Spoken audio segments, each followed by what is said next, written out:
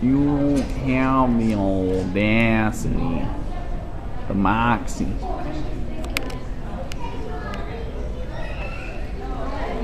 To be my sea lion friend.